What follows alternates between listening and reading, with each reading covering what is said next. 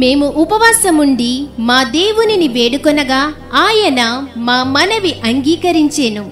Ezra గ్రంథము ఎనిమిదవ అధ్యాయము ఇరవై మూడవ వచనం. ఇమ్మానియేలు స్వస్థత గృహ పరిచర్యలు వారు నిర్వహించు ఉపవాస దీక్ష కూడికలు. ఉపవాస దీక్ష కూడికలు. నిర్వహించు తేదీలు రెండు వేల ఇరవై నాలుగు అక్టోబర్ పద్నాలుగు పదిహేను పదహారు పదిహేడు. సోమ మంగళ బుధ గురువారములు ప్రతిరోజు ఉదయం పది గంటలకు మరియు సాయంత్రం ఏడు గంటలకు. స్థలము ఇమ్మానియేలు స్వస్థత గృహ పరిచర్యలు కుంచెనపల్లి. ముఖ్య వాక్యోపదేశకులు బిషప్ స్టీవెన్ గారు విశాఖపట్నం. మగవాళ్ళు పెళ్ళి చేసుకోవడం అవసరమా అంటే whatever he does he has to repent it అన్నాడట. పెళ్ళి చేసుకుంటే చేసుకున్నందు పశ్చాత్తాపడాలంట మానేస్తే మానేసినందు పశ్చాత్తాపడాలంట. మగవాళ్ళకి బ్రతుకు కాలం అంతా పశ్చాత్తాపం తప్పదన్నాడు సోక్రటీస్ గారు. అయితే దేవుని బిడ్డారా క్రైస్తవ వివాహంలో మనకి దేవుని యొక్క ఆజ్ఞలు ఉన్నాయి దేవుని యొక్క కృప మనకు తోడుగా ఉంటుంది. కనుక ఇది చాలా మధురాతి మధురంగా మార్చుకోవచ్చు. పెళ్ళి క్లిక్ అయితే పరమగీతమే. ఫెయిల్ అయితే మాత్రం విలాప. Doctor K John Mangacharyulu garu Pedalanka. దేవుడు స్వస్థపరిచే దేవుడని చెప్పటానికి ఎలాంటి సాక్ష్యాలు ఎన్నో ఉన్నాయి? ఇమానియల్ హీలింగ్ మినిస్ట్రీస్లో కూడా వందలాది వేలాది సాక్ష్యాలు ఉన్నాయి.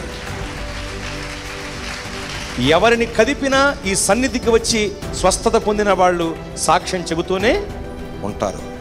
నేను రూఢిగా ప్రకటిస్తున్నాను దేవుని పనివాడిగా. దైవ సన్నిధిలో మీరున్నారు. దేవుని ఏర్పాటు స్థలంలో మీరున్నారు.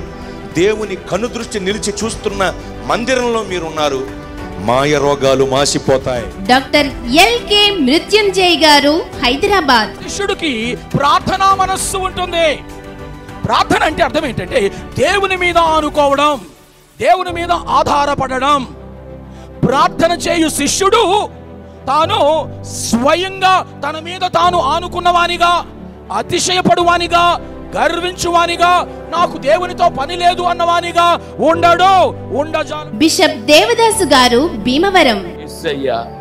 డాక్టర్ రవికుమార్ అయ్య గారిని అభిషేకించుకొని అమ్మగారిని అభిషేకించుకొని ఈ స్థలంలో అనేక మంది రోగులను స్వస్థపరిచి మేలు చేస్తున్నాడు. దేవునికి స్తోత్రం.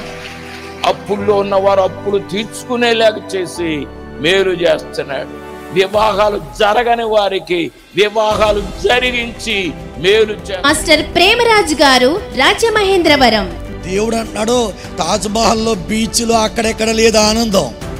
మీ కుటుంబంలోనే దేవుడు ఆనందాన్ని నిక్షిప్తం చేశాడు ఆయన. మీరు ఉన్న చోట మీరు ఉన్న చోట మీ ఇంట్లోనే ప్రార్థన చేసుకొని భోజనం చేస్తే ఎంత బాగుంటుంది దాన్ని కుటుంబ ప్రార్థన అంటారు డాక్టర్ శ్యామ్ జే వేదాల గారు నర్సాపురం. అల్లోడు ఆ కుల్లోడు ఉంటే ఏమి రాదు మనకి? అస్సలు రానివ్వడాడు మొట్టమొదటి ఏదైనా తోటలో చక్కగా పచ్చగా కాపురం చూసుకున్న కాపురాన్ని నవ్వు లేకుండా చేసి పడేశాడు ఎవడాడు? ఆడే ఇప్పుడు కూడా మన కొంపల్లో ఉన్నాడు. వాడు ఏ కొంపలో ఉంటే ఆ కొంపలు నవ్వు ఉండదు ఇంట్లో. ఏ ఒంట్లో ఉంటే ఆ ఒంట్లో కూడా నవ్వనివ్వడా. కాబట్టి నల్లోడు ఆ కుల్లోడు ఉంటే నవ్వు రాదండి. తెల్లోడు మన ఏసై ఉంటే సువార్త గాయకులు సిరివెల్ల హానుకు గారు కోడూరు. అంటూలో కాన ఏది లేదయ్యా? ఒకవేళ ఉందంటే నీవిచ్చినదే ప్రభు. నజరేష్ గారు విశాఖపట్నం. నాపై కనికరము చూపిన యేసయ్యా నీకై బ్రతకాలని నాకు ఆశయా. ఫిలిప్ గారు జంగారెడ్డిగూడెం. వందనాలయ్యా నీ ప్రేమకు వందనాలయ్యా. నన్ను రక్షించినందుకు పోషించినందుకు కాపాడినందుకు వందనాలు. ఆమెన్ శామ్యుయల్ గారు కాకినాడ. ఆడితని కృపా పావనాత్ముడా వర్ణించదని మహిమా నాయేసయ్యా ఆఖరి రోజు బాప్తిస్మములు బల్లారాధన ప్రేమ విందు జరుగును. అందరికీ ప్రేమపూర్వక ఆహ్వానము. మిమ్మలను ప్రేమతో ఆహ్వానించువారు డాక్టర్ బి రవికుమార్ గారు సిస్టర్ బి అరుణ రవికుమార్ గారు. మీ కుటుంబములతో కలిసి వచ్చి ఉపవాస దీక్ష కూడికల్లో పాల్గొని దేవుని దీవెనలు పొందవలసిందిగా ప్రేమతో ఆహ్వానించుచున్నాము.